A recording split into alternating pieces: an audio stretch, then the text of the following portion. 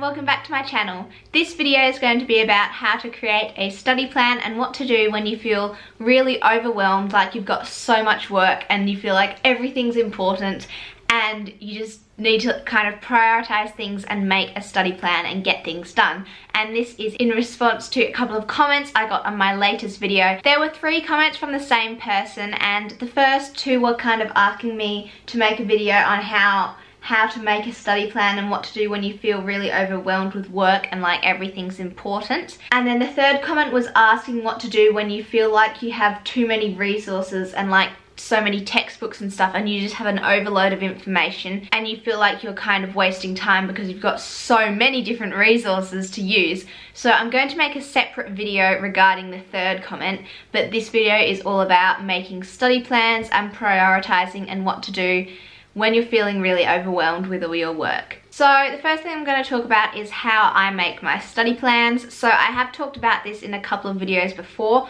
but I will just go through it briefly again. Um, so what I do is I get an Excel spreadsheet um, and I just write the days of the week along the top and the times of the day down the side in 15 minute increments. So you're going to have quite a lot of times because I go all the way from kind of 6 a.m. until 10 p.m. So there's a lot of times downside because they do go down in 15 minute increments but I find it's best to do it in 15 minute lots because then you're able to kind of utilize every minute of your day. So once you've got that basic outline, then I go through and fill in all of the things that I know are fixed in place during the week. So I'll block out school, I'll block out running training if you have any music lessons, other extracurricular activities, block them all out on your week and just block them out in a certain color. And then once you've blocked all of them out, you can kind of see how much time you have left. And now you need to think about ideally how much time you'd like to be spending on your work each day and how much time you want to be spending on each subject each day. So for me, for example, I want to try and do two and a half to three hours of work each day and that would be half an hour of work on each of my five subjects and then another half an hour if I feel like I need it in a certain subject. So that's kind of the basic outline. Obviously each day is different and I'll do different amounts of work on each subject each day depending on what's going on at the moment at school.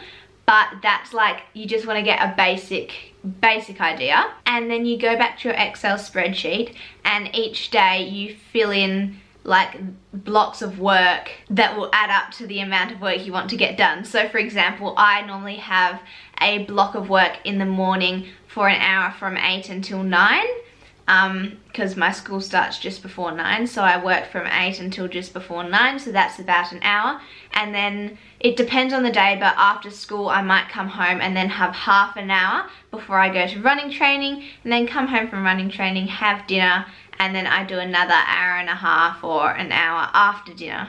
And so I'll have those three blocks of time blocked out on my day and those are the blocks that I'm going to be working because I've said I want to do two and a half to three hours work. So I've blocked out two and a half to three hours work on my day. And by using a combination of studying in the morning and studying at night, I'm able to fit my work in more easily around my extracurriculars. So the next thing to do is make a color code for each subject and then at the start of every week, go through and fill in, so the blocks of time that you've set out each day to study, fill in specifically where in those blocks you'll be doing that subject with that subject's colour. So if in the morning I'm going to be doing half an hour on economics and half an hour on English, I will put um, two 15 minute slots in, in green for economics and then two 15 minute slots in, in blue for English.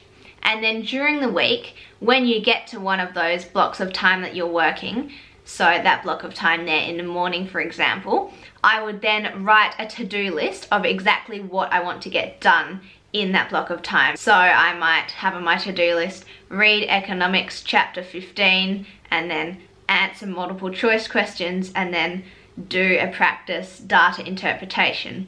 And then for English, I might have um, I'm not really sure because I never study for English, but um, um, do some practice writing or something. I'll put something on my to-do list and make sure it's a realistic to-do list. Don't put so many things on that you know you're never gonna get done in that time. Make it fairly realistic and then just work through those um, things on the to-do list during that block of time that you're working for and by having a to-do list it keeps you accountable and it also makes you feel like you're getting more things done because you're ticking them off so it makes you feel like you're achieving something. In terms of feeling unorganized, I often feel unorganized when I don't have a plan and my room's a mess and everything's a mess and untidy and I can't find anything and then my brain just gets messy when my space is messy. So if you're feeling really unorganized, what I would do is, if you can, set aside a bit of time to just tidy your room and organize all your papers for school, organize all your work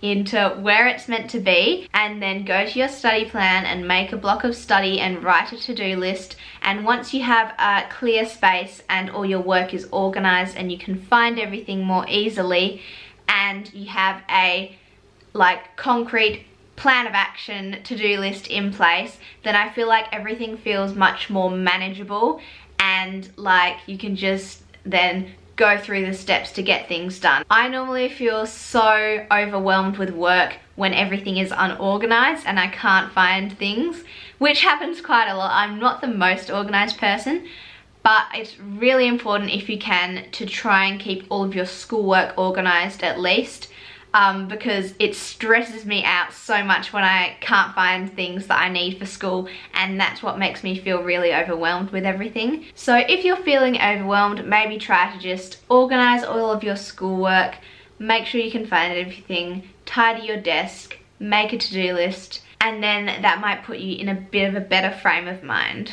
And the second comment by this person was, they said, I just feel like everything is important. And I can definitely relate to that because sometimes it does feel like everything is important and sometimes everything is important. But what I do um, there's a couple of things I do. Often the way I prioritize things is to look at how much of my final mark they're worth. So for example, if I need to study for a chem test and a methods test that I have tomorrow, I'll look at how much of my final mark they're worth they're worth and then that say the chem test is worth 2% and the methods test is worth 7%, I'm going to prioritize studying methods more and I'm going to spend more time studying methods because it's worth more at the end of the year. I also like to use the idea of the 80-20 rule. So if you haven't heard of that, it's basically where 20% of your time produces 80% of the results and then the 80% of your time only produces 20% of the results. So basically a little bit of the time that you spend on something is going to produce the majority of the result and then the majority of the rest of the time that you spend on it is only gonna produce a little bit of the result. So the way that I use that is once I've got the bulk of the work done for something, I just stop. Try not to be a perfectionist. It's often better to finish something imperfectly than to spend ages and ages perfecting every single little detail because that's really only going to make that small difference at the end but you're putting so much time into making that small difference it's much better to put a little bit of time to just get most of the thing done and then be satisfied with that. Now obviously this is a case by case basis. It depends on what task you're doing. Maybe it is something that really needs to be perfect. But with most things, just think, is it worth spending so much of your time perfecting every last detail or would it be better to just spend half an hour on a task and get most of it done and yeah, just weigh it up like that because I think that 80-20 rule, it makes a lot of sense to me. I can definitely see how a small amount of your time produces most of the results. So try and try and utilize that where you can. And at the end of the day, yes, in year 12, it does sometimes feel like everything is important, but really, I don't know, sometimes you just have to put things in perspective and think how important is school really. As long as you're working hard and you're putting in the effort, you're going to get to the end of the year and you're probably going to get a good result that's going to get you where you need to go. And if it doesn't get you where you need to go, then there's always another way to get there. There is always another way to get where you want to be. Sometimes it can take a bit longer, but if you really want to be a doctor, for example, and you don't get the mark for medicine, there is always a way to get in if you want to do it. Like, you will always find a way to do things that you want to do. So just keep working hard at school, keep trying your best, but don't place too much emphasis on school. Make sure to live your life outside of school as well because that's kind of the approach I've been taking this year. I'm trying to make sure I've got a really good balance of living my life and also working because when I look back on this year